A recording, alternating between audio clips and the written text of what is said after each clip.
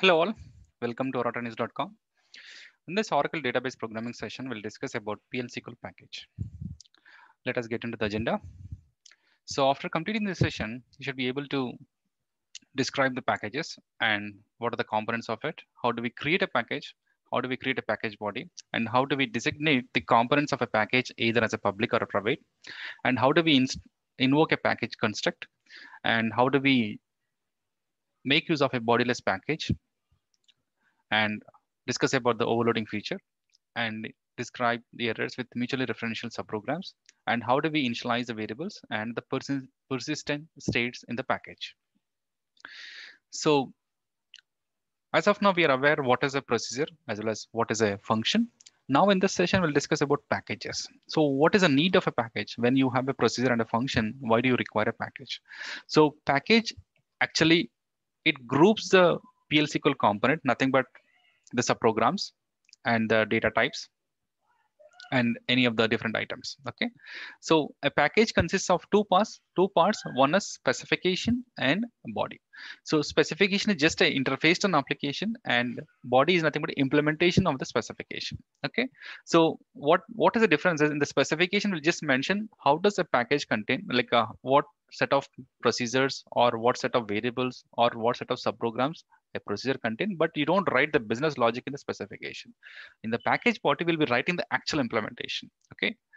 And so like uh, what happens when you create a package, right? So generally like whenever you deal with a package, once the package is invoked, the total package will be available in the server and it will be efficient for the multiple invocations from the third party program. Let us say your package is, your package is getting invoked multiple times. So until unless your session is as long as your session is active, the invocation becomes faster for the third party system, which is invoking your package. Okay. And the specification and body are stored separately in database. So these are these are all stored program concept, right? So when you create a package, the actual package content will get stored in the in the database. And as we know that package contains two parts, one is specification, other one is body. And they will get stored in the database separately. So what are the components of a package? Okay? Public package constructs as well as private package construct. The basic difference is when you say public package construct the what are the components which you define in the package are available outside of outside of your package also. Nothing but from other particular package it can be invoked directly. Not only from other package there also can be invoked from third party program. Nothing but from a java program i want to invoke your public package. Yes i can directly invoke it. Coming to the private package construct they are available within the package. They are not available to other package or they are also not available to the other third-party programs. So that's the difference. And the visibility of the public is local. Sorry, the visibility of the public is global and the visibility of the private is local.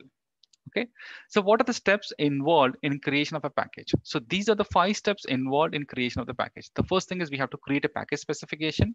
You have to compile the package specification and then create the package body compile the package body, and then you can invoke any of the package component. Okay, so whenever you compile any PL SQL component, that generates a P code. Similarly, for the function or even the procedure or even the package, whenever you compile, it generates a P code and that gets stored in the database. Okay. Now, let us see the syntax of the package specification. So the key, the syntax is create or replace or replace is not mandatory, but or replace followed by package keyword followed by package name is or as and then mention the declaration parts like it can be type uh, any data type or you can declare the temporary variables and the subprogram specification. Okay? And the replace option we know that like uh, it just replaces the existing one. Any variable which you declared in the package specification they are initialized with the null by default. Okay all constructs declared in the package specification are visible to user who are granted privileges on the package. Okay. Now coming to next slide.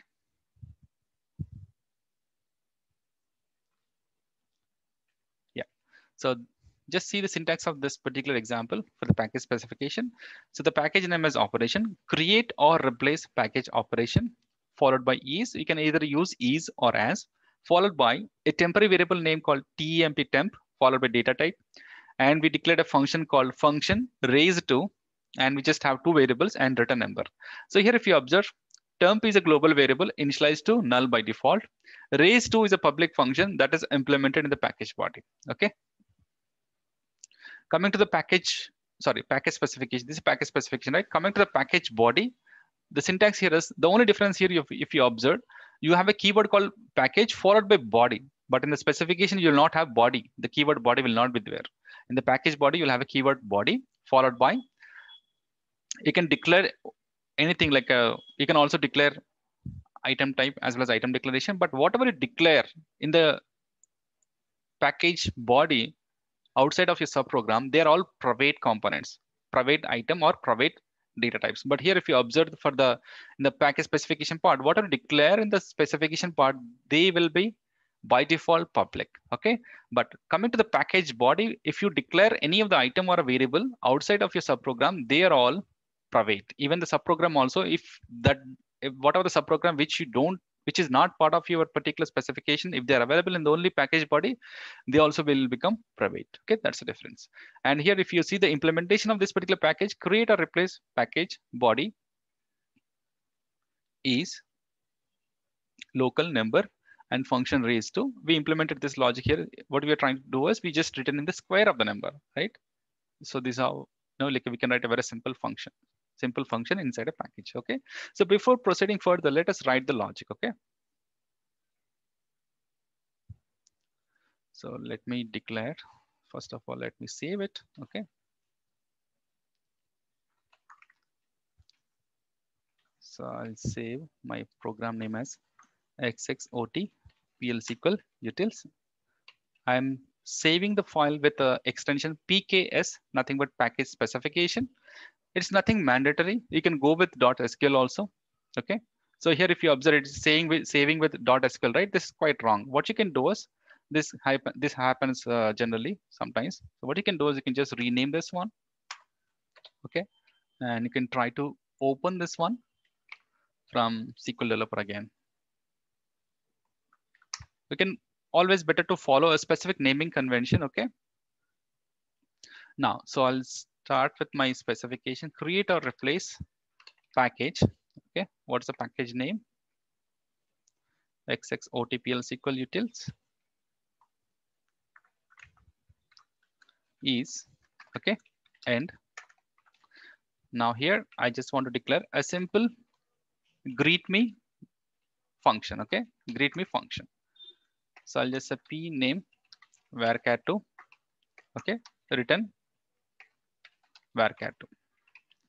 So what I've done here, create a replace package, xxotpl SQL utils is, okay. And I declared a function. I can also declare some temporary variable, let us say L underscore date, date variable is equal to sysdate. Okay. Now just compile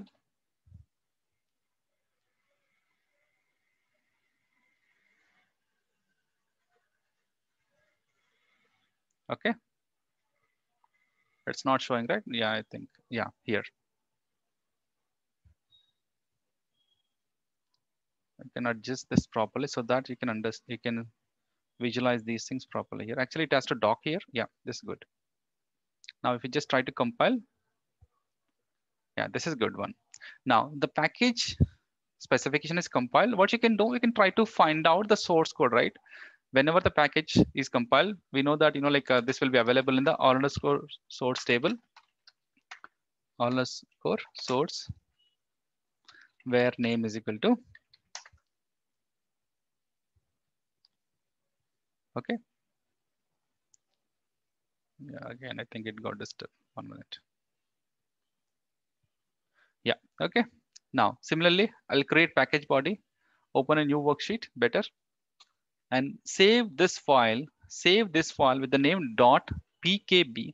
And here, what you can do is you can just simply select, yeah, it is, it is just select all files like this, select save pkb. Now it should save properly, okay? It should save properly. Now what you can do is I'll just copy my specification content here. Anyway, I should not do it, but yeah, just want to show what are the difference here. So this is my specification, right? I'll just say body here, this one difference. And this variable is already declared in the specification. So you should not declare it again. Now this function was this function was specified in the specification you have to implement.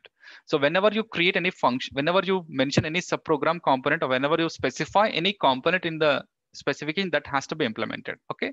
Now let us see how, what happens if I don't do it, right? And also I'll just declare one private variable, L underscore private number, number, number. So let us see whether it compiles or not. Okay. Now I'll just compile. Okay. What is saying? Greet me is declared in specification and it must be defined in the package body, right? Greet me is defined, declared in the package specification and it should be defined in the package body. That is the error. Okay. Now you understood what is the reason? Now I'll just copy this function name here. Okay. Now just select this one. Is begin body. So for your component, always have the block name so that you can easily differentiate. Now what I want to return is I just want to say hello or just say welcome p underscore name to Oracle DB world. Clear? Now, so our functional implementation is almost ready. Let's compile. It got compiled and you can just check out here R underscore source table. I mentioned the package here, right? And you should see the package as as package body. Can you see the type is package for specification? The type is package body for the package body. Now let us invoke our function from select query. What we can do? Select package name dot. If at all, if you want to invoke any component inside the package, you have to mention the package name followed by your component name. So in this one, I'll just say John from dual. What will what it will say? Welcome John. Welcome John to Oracle DB World. Better I'll mention welcome John. I'll just add up two and I'll compile again. Now try to rerun. Welcome John to Oracle World. Anyway, you can mention comma like this. Okay. Now let us say I'll try to invoke the same function from using a particular table. Okay. My favorite table from EMP ename. Okay. Can you see? Welcome King to Oracle DB World. Welcome Blake to Oracle DB World. So now 14 times this function was invoked. Let us try to invoke the global variable also. We have a global variable like this, right? So just see whether it works or not. xxot plsql utils dot.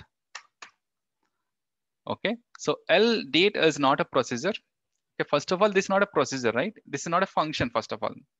In the select query, you can invoke only a function which are available. You cannot invoke a variable here.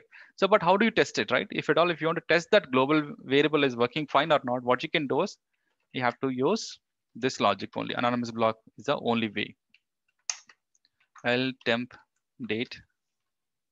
So I'll just say is equal to xxot plsql utils dot date dbms underscore output dot put underscore line temp value date is mention the L underscore temp. Okay, now try to run it and just see what it prints. Okay, it printed properly now. Let us say I'll try to use, so we declared one private variable here, right? We'll declare one private variable. Just try to access it and see what will happen. I'll just say L underscore name number is equal to xxot or you can simply try to print it right you can also try to print it instead of declaring a variable this way also you can do it temp value date is version 2 xx xx ot plsql utils dot l underscore date. This is also possible. Way of invoking the variable. Okay now yeah. Now let us try to access a private variable okay? Let us access, access the private variable.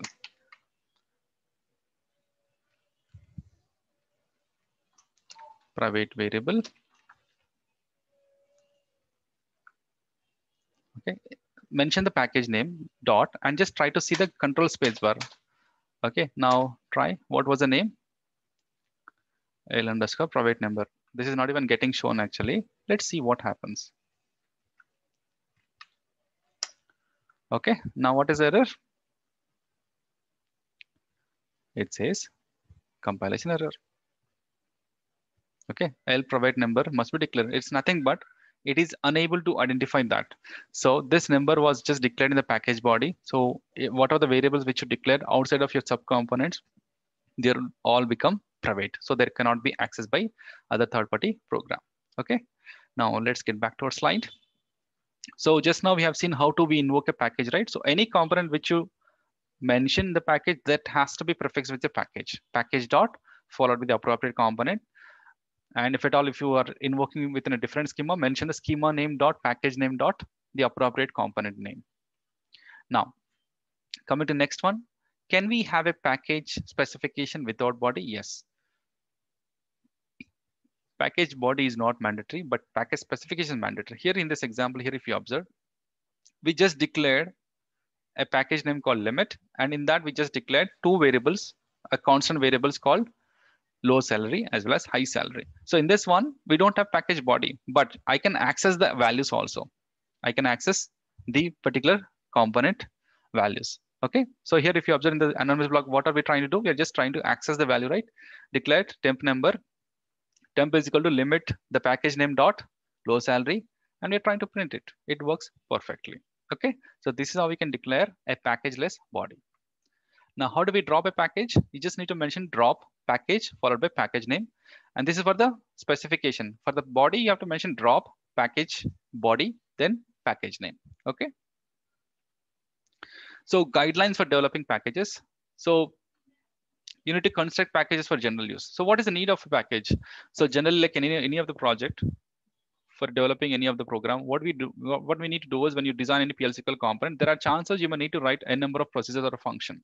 Rather than rather than writing them independently, we have to club them into a specific package so that it will the deployment will become easier, and the maintenance will become easier, and you'll understand what is the flow happening. Rather than referring to each individual n number of SQL files, you can refer to only two files, one specification and one package body. So there are a lot number of benefits when you use package okay? So if you just go through the line by line information define the package specification before the body. Yes we are aware. The package specification should contain only those constructs that you want to be public right? So if at all if you want something to be public mention the package specification or else mention them in the package body. Changes to the package specification require recompilation recompilation of each referencing subprogram. So what will happen is let us say if you're compiling specification you have to compile body also. Else it will become invalid. Okay. The package specification should contain as few constructs as possible. Don't try to just always declare a number of components without need. Okay. Advantages of packages. So as we know that like uh, modularity, easy application design, you can hide the information, right? Like the third party system doesn't need to know how you implement it. You just need to mention your particular component name. They'll just simply invoke it, right? They will not have access to see the source code. They can just simply invoke your program. That's it and better performance. We know that like when a package, when you design a component with a package, what will happen is the total package package will be loaded in the memory. Any third-party system which is invoking within the session, it will try to invoke if the components are within the package, it will it will not load the package again because the package is already available in the memory, right? And the concept, the OOPS concept, the object-oriented programming concept overloading is also available in the PL SQL. Okay.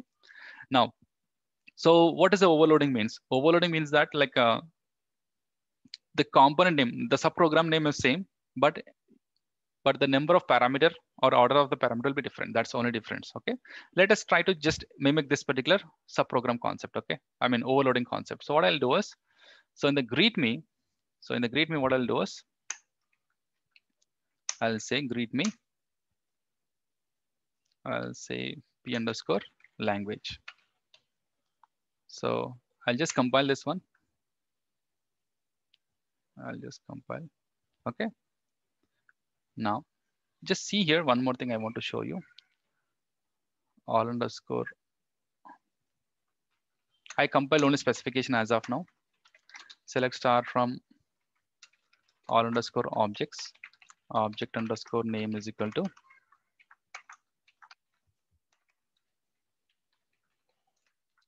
now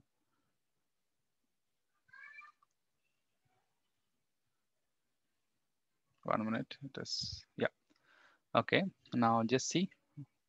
Now I compile package specification. What is happening to package body? It became invalid, right? So when you compile package specification, you have to compile package body also, not vice versa, right?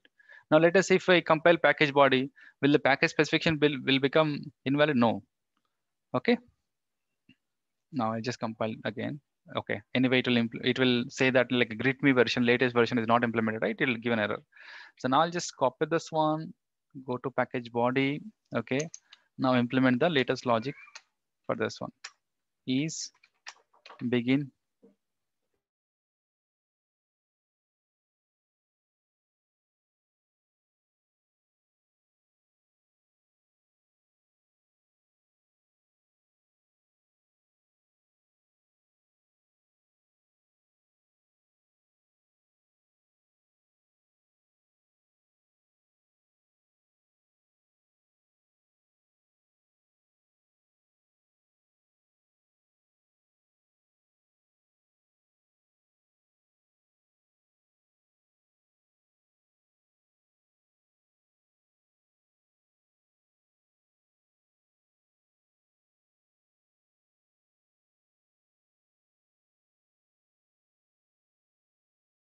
So what we have done is the function name is same, but the parameters are different. And of course, the internal business logic was is also a little bit different, right? Now just compile. It got compiled. Now let us try to invoke this one. So from here, we'll try to do it. So I'll just say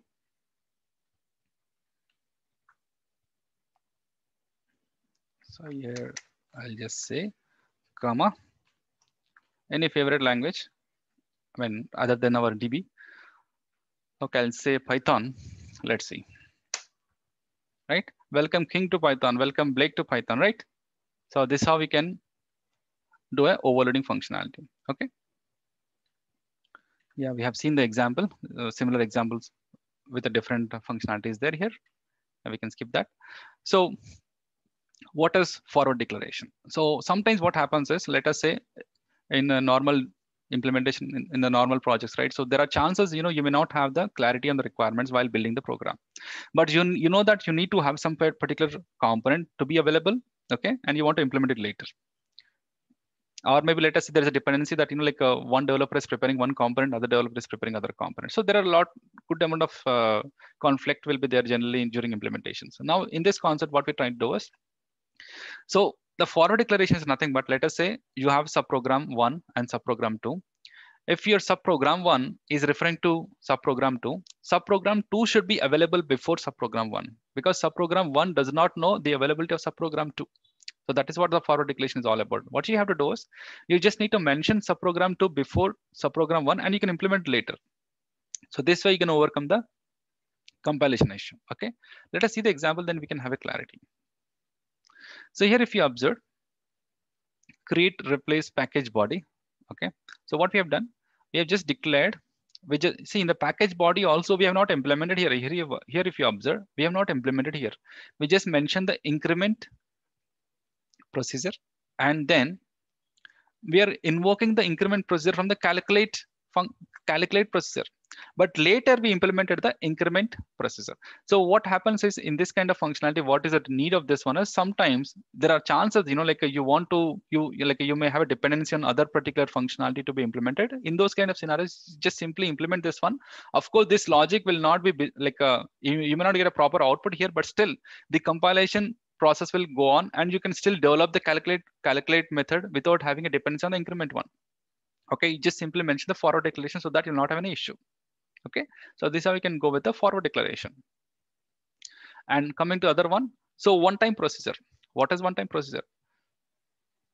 So one-time processor is nothing but like uh, there are chances, you know, like whenever you invoke any processor, you want to initialize your set of components or you want to get a value based on the based on the some functionality. Now here, if you observe, I want to get, I have my package name as uh, increment. So I have a method called increment. Increments is package name increment is a procedure name. In this, I just have a variable, variable declared variable is uh, variable is to variable plus increment. I'm just printing it. But in the begin, the begin block, what I'm doing here. So this begin block here, if you observe, I, I don't have end here. This end is for the package body. So this particular package, this particular one-time only procedure what happens is you'll it will not have an end block. You just need to mention begin. You, you just mention what are the logic you want to mention. That's it. Okay. So in this one, what will happen is you can simply whatever the whatever the logic you mentioned that will get initialized. Okay, this is a little bit different concept. It's a PL SQL one-time procedure is an anonymous block of code. It is encapsulated within a package, and it is invoked only once when you when once in a session.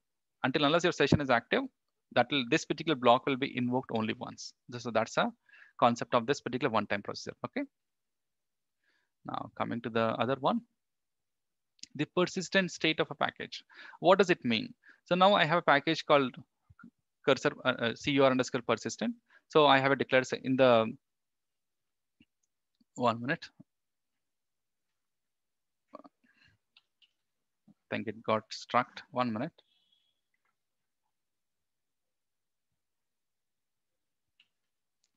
Yeah, okay. So here what I'm trying to tell you is, so here in this particular package, this is my package, okay? This package specification. I'm just accessing this one, right? I'm just accessing this one. In the declaration section, I'm just accessing this one.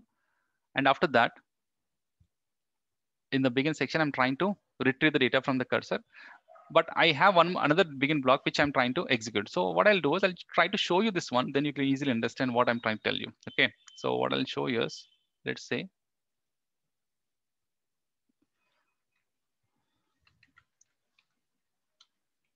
create or replace. Okay. I just have a package with the name cur underscore persist. Now, now, okay. Okay.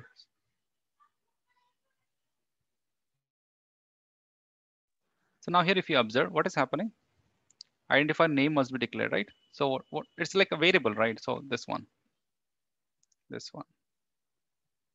Declare a variable. Okay, now it got completed. Now what I'll do is, so this is the same session. So I'll just close this my content. Now I'll try to open another begin block. I mean, I'll try to invoke the another in anonymous block. Now what is happening is earlier I already opened my cursor. If you try to re-execute, now what will happen? It says the cursor is already open. It means that your session is already open. Once your session is open, the package is already loaded and the cursor will persist until unless your session is active. Okay, this is a very important part you have to understand. Okay. Now, so far we just saw like a coming to the final summary of the session. So far we just seen a very simple way of how do we create a package, how do we create a components in that, and how do we overload it, right? And how do we do a over like uh, using one time only how do we create a one time only procedure and the persistent state of the packages right? And if at all if you want to drop a package what you can do? Drop package and you can just mention xxot pl sql utils right? Right? It got dropped.